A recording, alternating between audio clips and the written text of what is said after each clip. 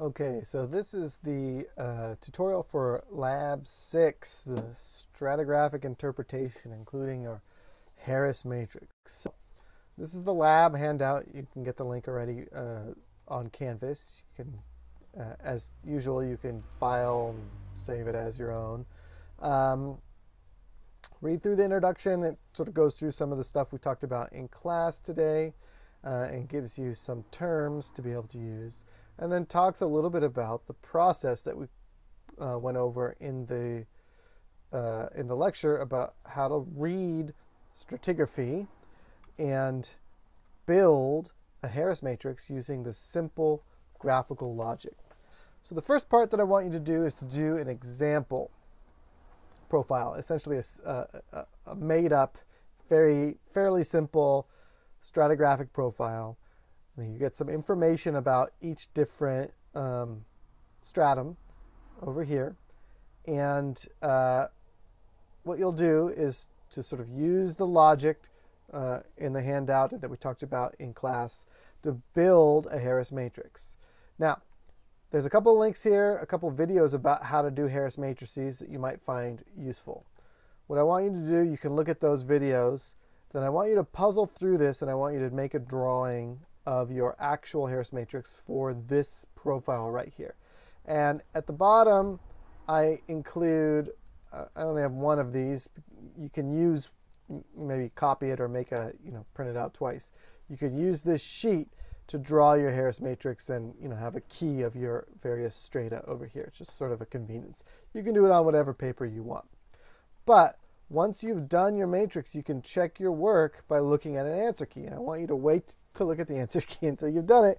The whole point of this one is not to get necessarily the correct answers, to learn by doing and then check and to see where and why your drawing is the same or different from the official answer key. And that helps you understand how to build a matrix.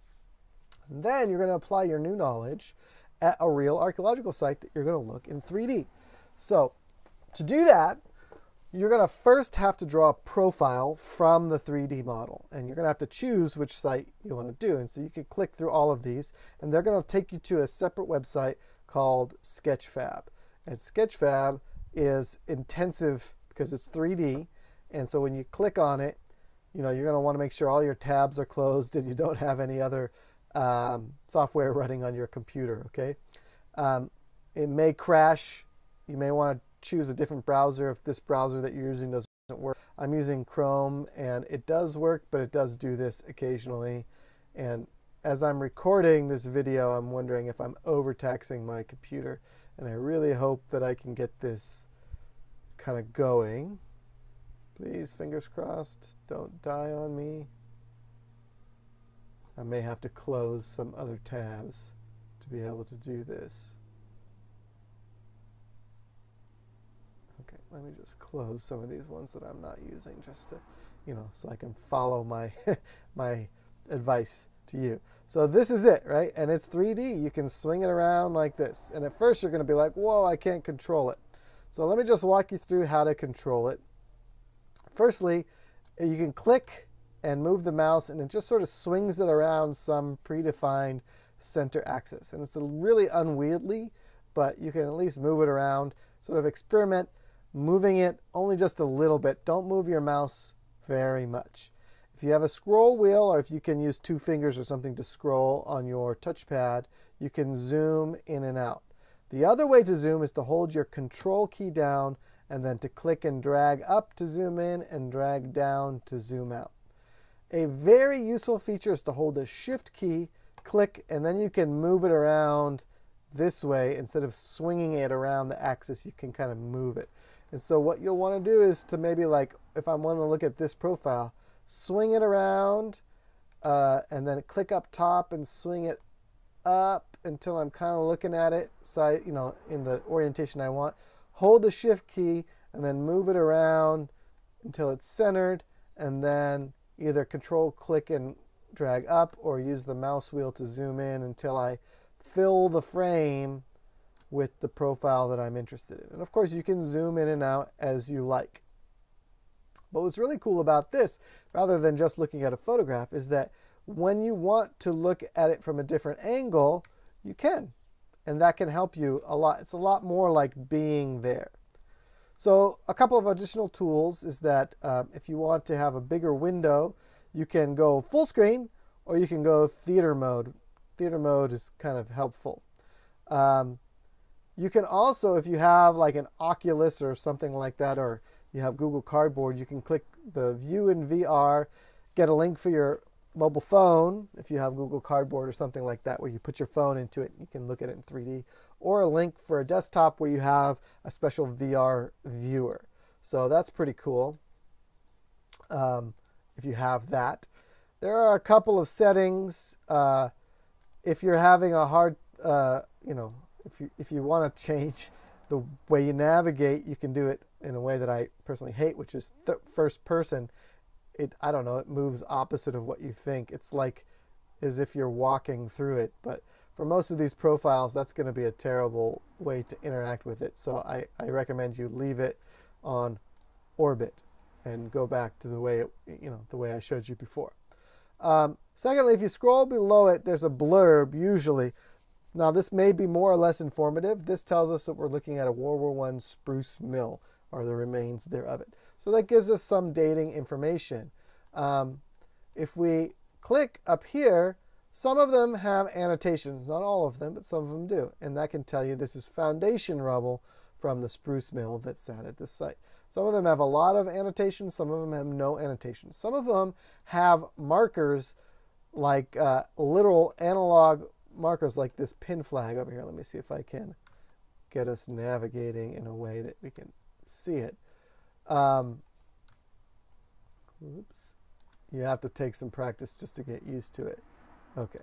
So here you can see a pin flag. So some of them have pin flags put at different strata and it will help you figure out, you know, the stratigraphy. But however you decide uh, to figure out the dating, whether there's any information or not for the site that you choose, you're going to need to draw a profile. And as an example of that, I've given you in the lab uh, a couple of links to profiles, you know, some information about drawing profiles from a couple different places, and also uh, a link to a profile that I drew in one of my sites. So this is a, a ancient lake bed, you know, from the Neolithic period, more or less, in northern Jordan. And here's a photograph of the actual profile that we excavated. And you can see some of the stratigraphy. You can zoom in on this if you want. Then you can see the profile that I drew while I was in the field. And this is a scale profile. So I was out there and I put this horizontal line, line level, perfectly level line, and I have a tape measure and I went along and I measured offsets very uh, precisely from this horizontal line to the surface, to the interfaces of each of the different strata, and I translated those to my scale drawing. And uh, I wrote a scale which shows that one of these biggish squares is equal to 26 centimeters in, in the real world. Now that's a weird scale and I just chose it because I wanted to get the biggest drawing possible and make my, my life easier. The weird thing is that I'm going metric measurements to, this is inch uh, graph paper. It's all I had at the time. So it's not ideal. I would obviously prefer to have used metric graph paper so I could have had a more even scale like 1 to 10 or 1 to 20 or something like that.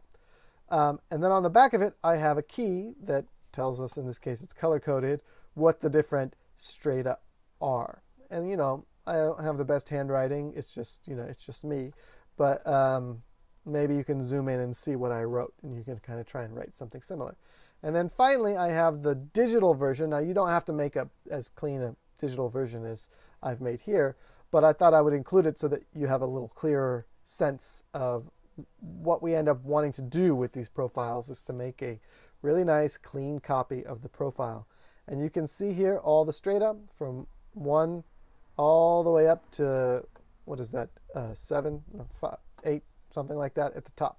And this is all pretty straightforward. So the Harris matrix is really simple. You just one on top of the other. That's it to the top.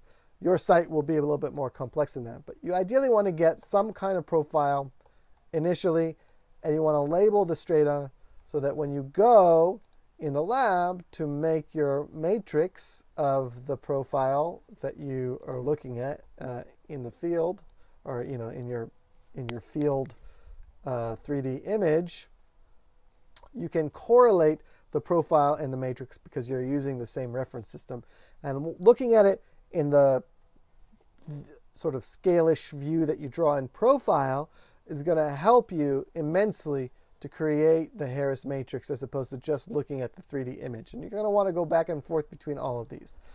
So at the bottom of the, of the handout, there's some graph paper that you can use. It says site mapping sheet, but you can use it to uh, draw your profile. Try to do your best to figure out the scale. Um, you're going to have to guess in some ways. Uh, one way to guess is that excavation units are usually pretty regular. So between this nail and that nail, is probably one meter or two meters. And so you can just sort of use that to help figure it out. Um, you're going to have to sort of do it as a sketch map rather than a true scale map, simply because there's no way to do it properly to scale in these, uh, in these images. But you'll do your best. You'll create a profile, and then you will create a Harris matrix out of that. And when you're done with all of that, as typical, you have some write-up to do. So you want to be taking notes the whole time. You want to keep your uh, matrices from the example um, and the one you eventually make from your site, and you want to have your profile drawing also from the site along with the key. And those are the notes that you'll turn in, and then your write-up is here.